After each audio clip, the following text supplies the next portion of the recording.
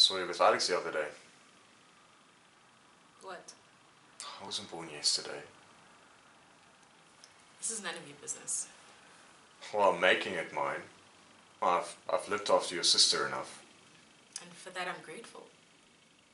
No, I've never seen any of your so-called library friends lifting a finger to help you. I've offered to pay for your time, I don't want your money. and I don't want to discuss this.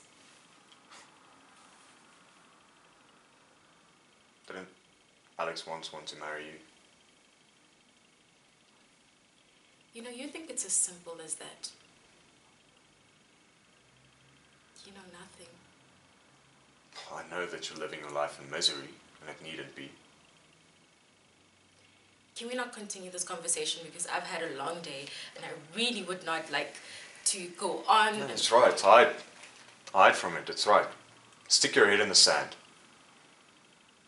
My personal life actually has nothing to do with you. Alex still loves you. Any fool can see that.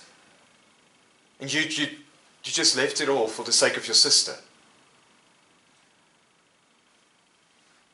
Don't you think I've been through this a million times? Natalie is the way she is, and I'm fine with that. I'm just glad to have my sister alive, no matter what state she's in. Sorry for yourself. Get out.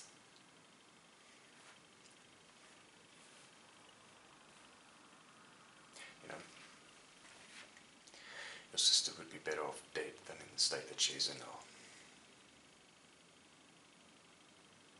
Screw you.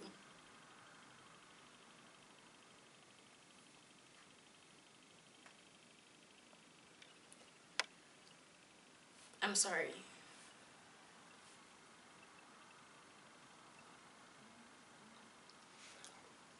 I'm sorry. Thank you for looking after her. You know, I care about you. I care about both of you. I know.